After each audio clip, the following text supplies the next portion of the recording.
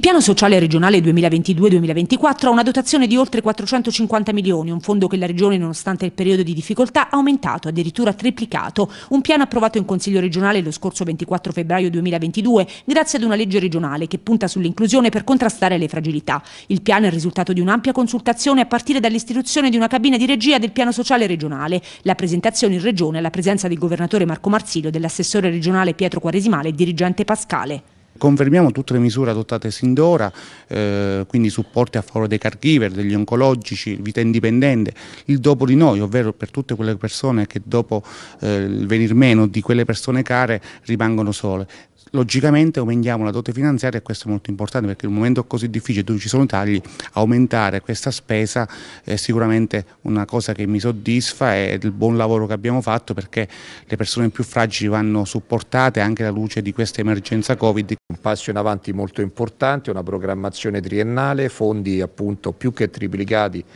rispetto al passato in un momento molto difficile e delicato, è quello che ci voleva e anche una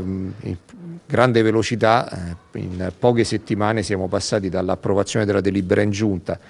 all'approvazione della legge in Consiglio regionale, è stata appunto una prova di grande maturità e di grande compattezza.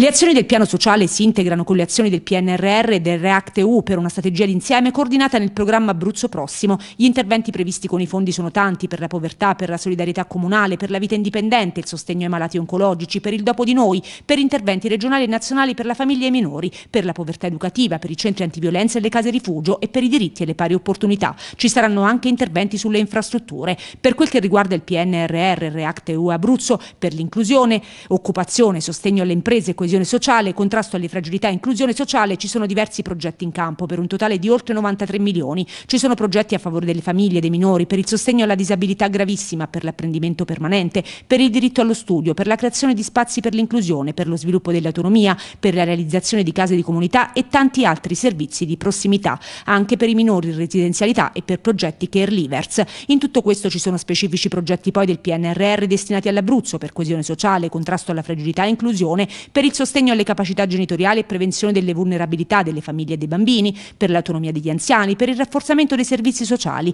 per percorsi di autonomia delle persone con disabilità e per progetti legati alla povertà estrema.